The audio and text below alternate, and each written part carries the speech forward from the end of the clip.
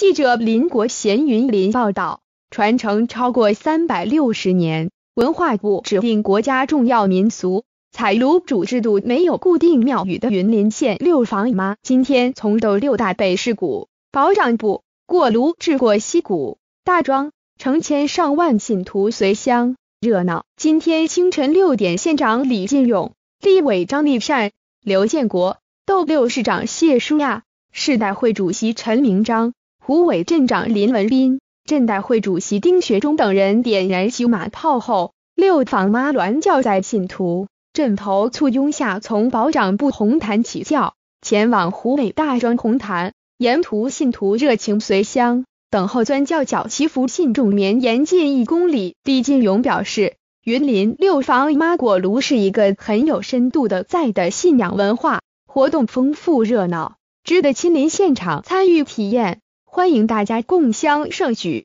湖尾镇代会主席丁学忠表示，云林六房妈是由斗南镇、土库镇、湖尾镇、斗六市及大皮乡分成五股三十四庄头，依序轮流奉祀一年，每五年完成一次循环。今年轮由虎尾过溪谷大庄部落，欢迎大家感受六房妈过炉热情。今年各股参与非常热络。由各村庄所组成的阵头，以及数量庞大的单花、单灯等自发性还愿祈福的队伍，沿路更是有信众准备饮料、点心，让来自全国各地的上万香客吃得平安，展现信徒热情好客、无私奉献的精神。六房妈预计晚上十点进入大庄临时红坛安坐，安坐完成会进行团拜，欢迎民众共襄盛举。因因果炉大典，今天云七十一、云七十四、县道一百四十五、